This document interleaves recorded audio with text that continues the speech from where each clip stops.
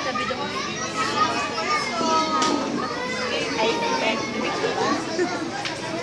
again, let us welcome the NKP girls with the